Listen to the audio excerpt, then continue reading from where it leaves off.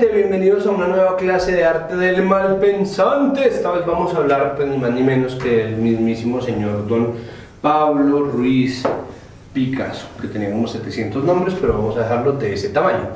No vamos a hablar de toda la vida y obra de Picasso, pero nos podemos quedar dos años grabando y aquí todo el equipo tiene que ir a almorzar, incluyéndome a mí, y ustedes saben que yo almuerzo porque se ve. El caso, vamos a hablar de los periodos azul y rosa, es decir, el periodo de la vida de Picasso que está comprendido entre los años 1901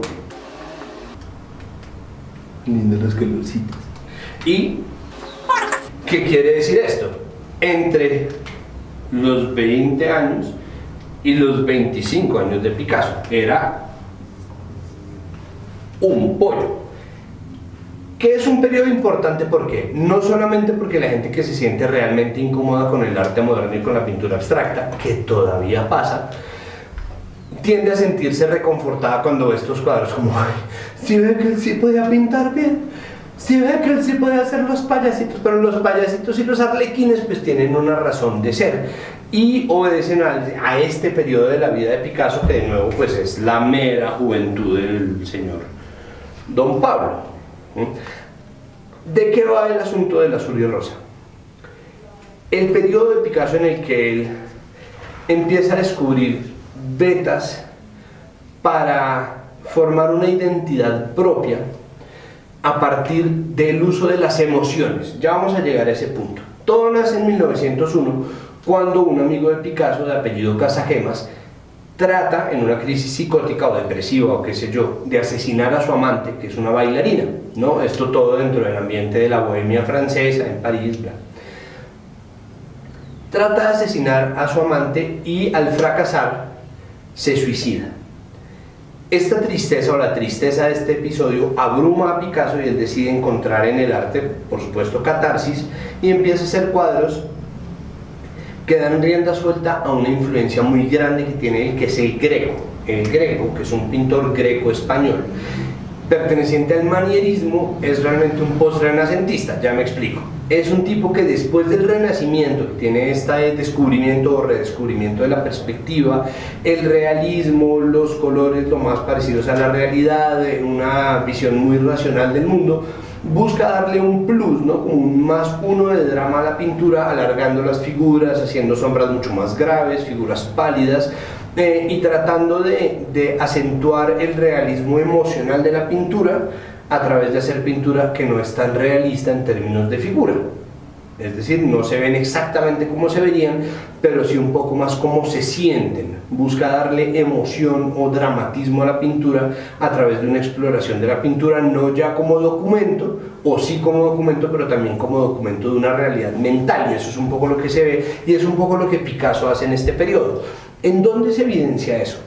El primer cuadro, que es el entierro de Casagemas, es un cuadro Mm, en donde las figuras están flotando en un espacio azul, es un cuadro predominantemente azul, todos son figuras alargadas, pálidas como en el greco, y poco a poco empieza a hacer una serie de figuras influenciadas por el pesimismo, el nihilismo y por la inequidad social y la violencia del ambiente catalán, eh, del ambiente francés también, es decir, un ambiente muy anárquico, muy pro-anarquista, que no es lo mismo, y eh, muy pesimista con respecto a la realidad, una crisis de propósito que se ve evidenciado, que se resume primero en la muerte de este amigo y segundo en un mundo que parece no tener mucho sentido, incluso para un tipo tan joven, 20 años, como lo era Picasso. Hace figuras que empiezan a, a deconstruir el cuerpo. ¿Qué quiere decir deconstruir? Que poco a poco abandona las poses realistas, ¿no? el cuerpo tal cual como se ve y empieza a hacer líneas rectas, por ejemplo. Entonces eh, figuras que están tan cabizbajos que la cabeza está casi casi en ángulo recto. ¿no? Esto no es real y si ustedes tienen una cabeza pueden comprobarlo.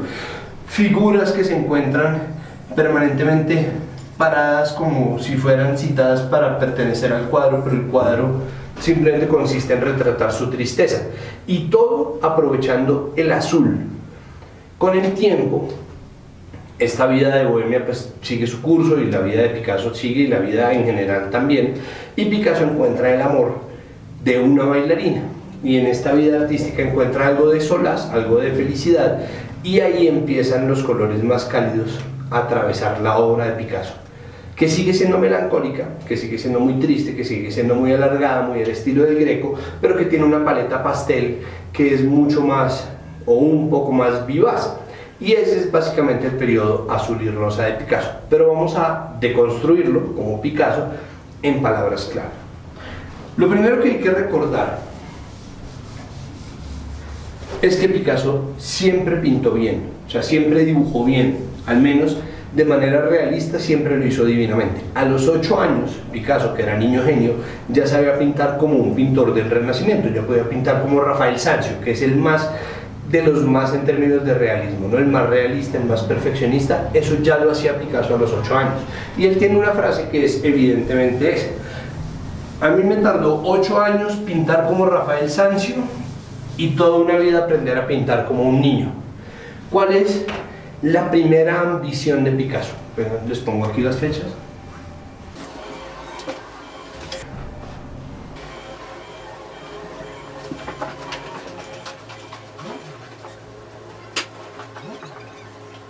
Lo primero era la deconstrucción, que es la primera palabra clave y que es la palabra clave de toda la obra de Picasso. Es decir, analizar la realidad, separarla por sus partes y entregarnos mezclas y remezclas de esos elementos. La deconstrucción, que no solamente es una noción del arte moderno, sino también del arte postmoderno y neo-postmoderno y neo-pre-post-pentametamoderno y todo lo que nosotros vivamos de aquí en adelante está marcado por esta misma ilusión de deconstruir la realidad. El arte como un DJ que remezcla los elementos de la realidad y nos los entrega de distintas formas.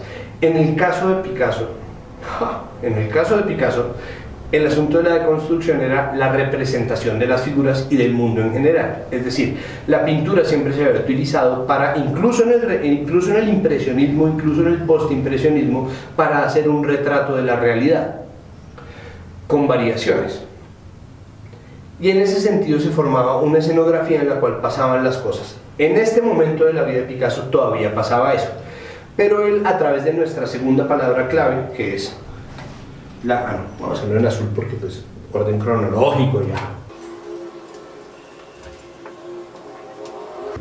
A través de la emoción empieza la deconstrucción de sus representaciones. Es decir, un tipo que ya era un pintor de nombre, no sé si de renombre, pero sí de nombre fijo, lo conocían en muchos círculos, vendía cuadros, es decir, vendió cuadros en vida, cosa que por ejemplo Van Gogh no puede decir que haya hecho, incluso muchas veces Rembrandt no vendía un carajo.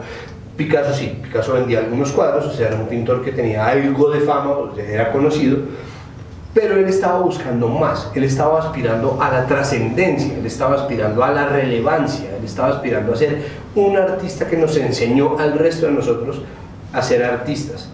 Ese es lo que hace Picasso tal vez el, el artista más grande del arte moderno, junto con tal vez Marcel Duchamp. Pero ahí está. A través de la emoción empieza a deconstruir la representación. ¿Eso es nuevo? No en absoluto. No en absoluto.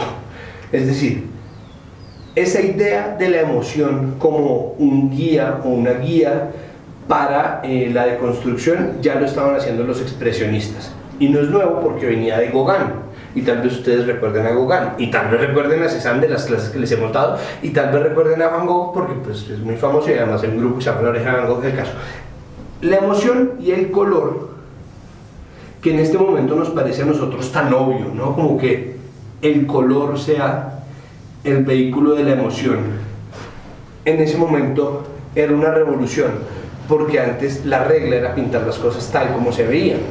Y en este momento ya había ocurrido la revolución de los impresionistas y la de los postimpresionistas y estaban en las del fauvismo de Matisse, estaban también en las del puntillismo, estaban en las revoluciones del expresionismo, tanto el alemán como el global europeo, ya ha aparecido Kandinsky y estaban justamente en este punto de la historia. Entonces Picasso empieza a experimentar por cuenta de su propia tristeza con la beta que le daba la emoción para generar representaciones nuevas. Estas son nuestras palabras clave. Pero además hay una que es fundamental y es para mí lo que encierra la importancia de este periodo azul y rosa, que es la identidad.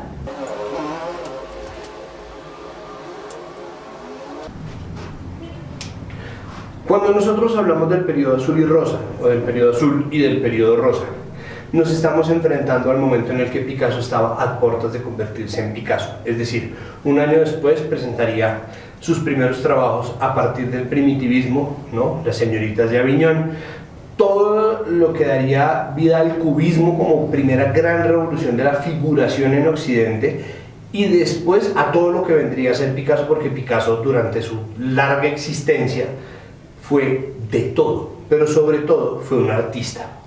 Y sobre todo, y perdónenme la tautología, fue Picasso. Entonces Picasso buscando aprender a dibujar otra vez como un niño, aprender a pintar como un niño, aprender a entender que el color no es solamente el color que vemos y el color que representamos o que tratamos de poner de acá a acá, sino exactamente todo lo contrario, la posibilidad de crear aquí algo que se sale por completo de lo que estamos viendo, pero que al mismo tiempo lo representa, lo trae, lo contiene, pasa por esta etapa, en donde a través del expresionismo, de los mismos recursos del expresionismo, pone en práctica la influencia de Cézanne, ¿no? el observador incansable de la realidad, Gauguin, ¿no? el, el, el, sentidor del mundo, la persona que está permanentemente a cargo de la emoción del mundo y de la explosión del color, y también de Van Gogh, que es el papá del impresionismo. Y a esto le podemos sumar su amistad con Matisse, que era el pintor más conocido del fauvismo. El fauvismo que buscaba, ahí sí, dejar, abandonar las paletas realistas, ¿no? Nosotros no somos, no, no tenemos casi nunca puesto un color puro encima, ¿no? Nosotros somos, estamos matizados. En el fauvismo no, y esa revolución del color tenía que ver directamente con esto y con esta búsqueda de la deconstrucción que termina siendo tan importante. Estas palabras claves se ven redondeadas por una última que puede que a ustedes les parezca banal o, tal vez un poco boba o como qué palabras tan chimbas, pero que es importante para terminar de entender todo este proceso y es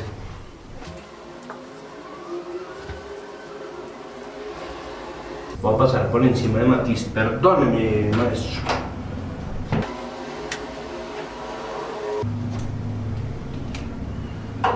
La juventud. ¿Por qué la juventud? Porque es que Picasso nació artista y con Picasso el mundo aprendió lo que significaba ser un artista. Es la juventud importante porque Picasso, un tipo de 20 años, empieza una exploración que le duraría de ahí en adelante toda la vida. Y estos dos periodos sirven un poco como la coyuntura, el codo en donde empieza a flexionarse la pintura de Picasso y empieza a encontrar un método expresivo que sería solamente de él, solamente de él que era tan buen ladrón, ¿no? solamente de él que era tan buen plagiario de temas o tan buen explorador de temas ajenos, pero que nunca jamás dejó de ser Picasso. Entonces ahí, gracias a la juventud, gracias a esta especie de adolescencia artística de Picasso, nosotros entendemos dónde está la construcción de la identidad, nosotros entendemos cuál es el papel exacto de la emoción y el color como un representante de esa emoción y la deconstrucción empieza su camino para terminar de crear en Picasso la figura del gran artista moderno. Y hasta aquí esta clase mal pensante, espero que la hayan disfrutado. Muchas gracias por asistir. ¿De qué se ríe, joven? No, cuenta el chiste, cuenta el chiste y nos reímos todos.